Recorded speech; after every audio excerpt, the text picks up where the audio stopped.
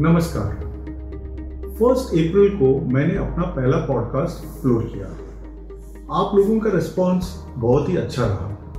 आज तक इन दो महीनों में 800 डाउनलोड हो चुके हैं। काफ़ी लोगों ने मुझे हिंदी पॉडकास्ट करने को कहा।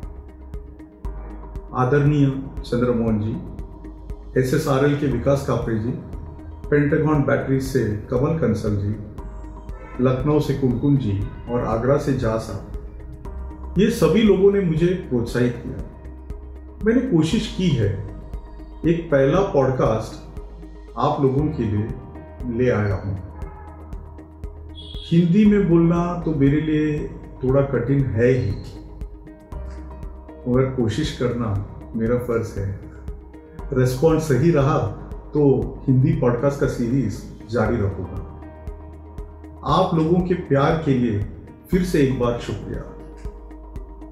पहला पॉडकास्ट अब शुरू करता हूँ।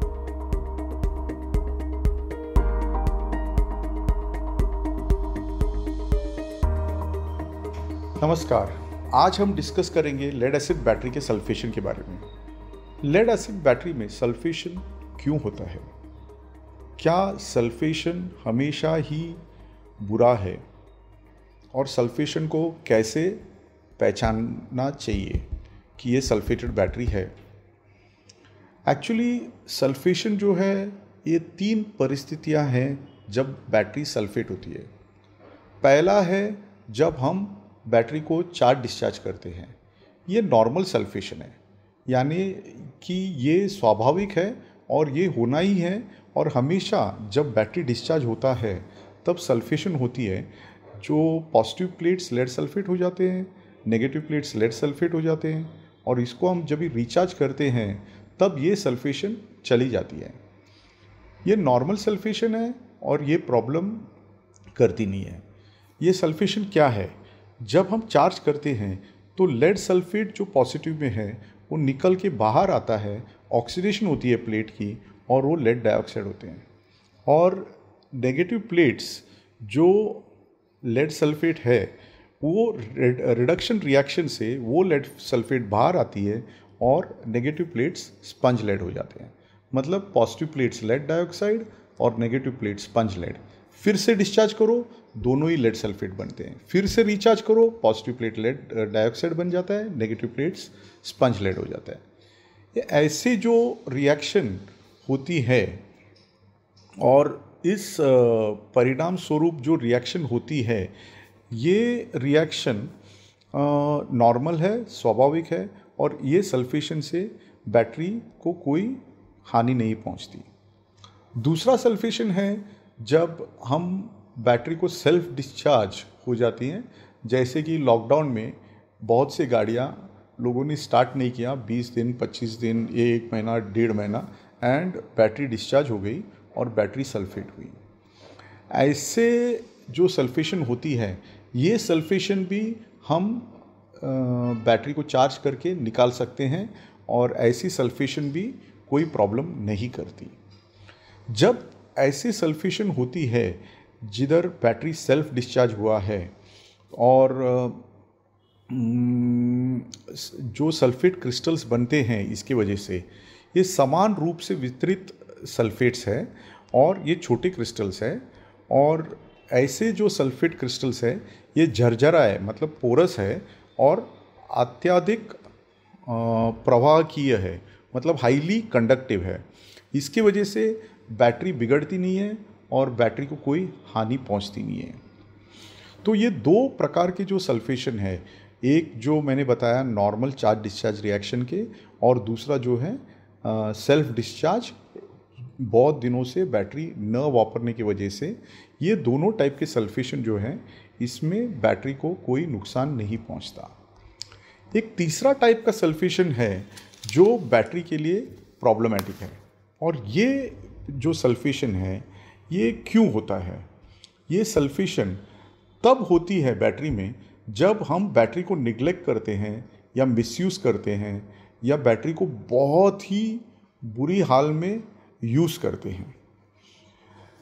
ऐसे सल्फेशन कब होती है? जब हम बैटरी को महीनों तक डिस्चार्ज स्टेट में छोड़ देते हैं और स्क्रैप की तरह डाल के रख देते हैं और फिर उसकी वापर करने की कोशिश करते हैं।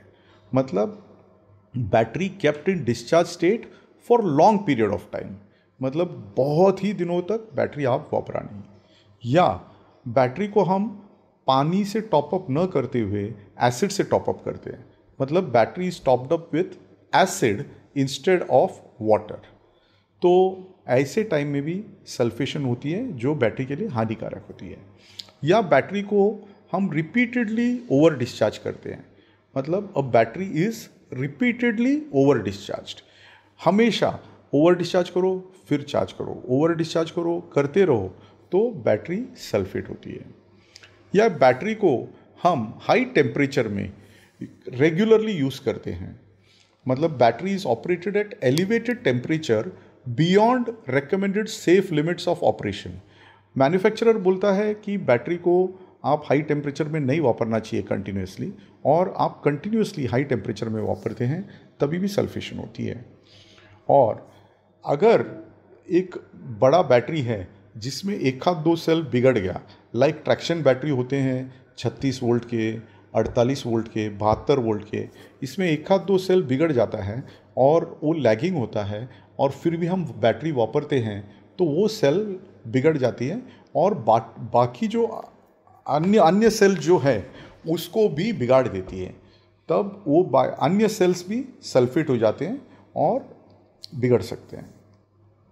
बैटरी इज़ परसिस्टेंटली अंडरचार्ज मतलब आप वापर तो रहे हैं बैटरी को और पूरा चार्ज नहीं करते हैं, थोड़ा बहुत चार्ज करते हैं और फिर से वापरते हैं, थोड़ा बहुत चार्ज करते हैं और फिर से वापरते हैं।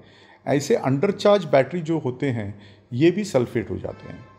और लास्ट कारण जो है, बैटरी को लो इलेक्ट्रोलाइट से इनसफिशेंट टॉपिंग अप मतलब आप बैटरी में पानी नहीं डालते हैं सेपरेटर के लेवल के नीचे पानी चला जाता है, फिर भी बैटरी वापरते हैं तो ऐसे बैटरीज जो सल्फेट होते हैं और इस तरह के सल्फेशन जो है, ये बैटरी के लिए हानिकारक होता है और बैटरी को नुकसान पहुंचाती है।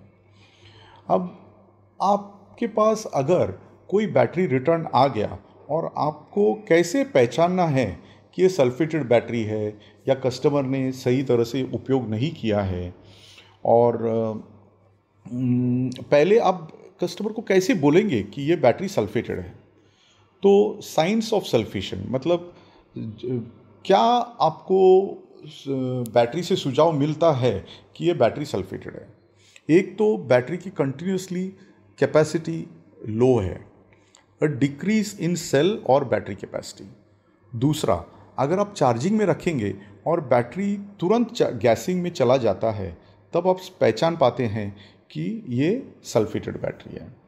अगर बैटरी को रिवाइव नहीं कर पा रहे हैं और आपने सोचा कि इसकी आंतरिक परीक्षा करें इंटरनल एग्जामिनेशन करें, और आपने बैटरी खोल दिया और आपने देखा कि पॉजिटिव प्लेट्स जो हैं, वो लाइट ब्राउन कलर है और उसमें सफ़ेद स्पॉट्स है वाइट स्पॉट्स है और एक एबनॉर्मल कलर है, जो नॉर्मली प्लेट्स के पॉजिटिव के कलर नहीं होते, ऐसे कलर है तो आप पहचान पाते हैं कि ये सल्फेटेड बैटरी है।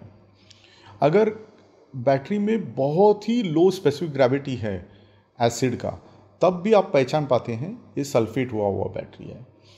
और लास्ट कारण जिससे आप पहचान सकते हैं वो है कि नेगेटिव प्लेट्स इतना बल्ज हो जाता है कि आपके बैटरी के कंटेनर या पार्टीशन वॉल्स डैमेज हो जाते हैं और बैटरी बल्ज होती है। तो ये सब कारण से आप समझ सकते हैं कि बैटरी सल्फेटेड है। और इस तरह की सल्फेशन जो है, ये बहुत मुश्किल है इसको रिवाइव करना बैटरी को। और इसमें ये जो बैटरी सल्फेटेड बैटरी के सल्फेट क्रिस्टल्स होते हैं, ये बहुत बड़े क्रिस्टल्स होते हैं क्रस्ट टाइप के होते हैं। और ये आपको तुरंत समझ में आएगा कि जो नॉर्मल सल्फेट क्रिस्टल्स है, उससे ये अलग होता है। और ऐसे बैटरी को रिवाइव करना बहुत मुश्किल है। इसको कैसे रिवाइव करना है? और क्या करना है ये मैं अगले पॉडकास्ट में आपको समझा दूँगा। Thank you